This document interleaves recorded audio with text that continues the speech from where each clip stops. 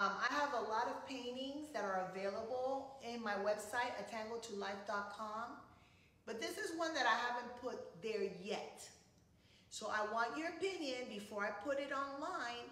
Do you guys want to make this painting available? So I just wanted to show you guys that. And let me see. I can't see anything.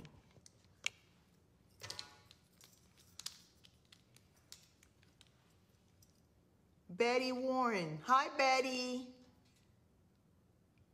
Hi. Hi, David D- Dave Dito.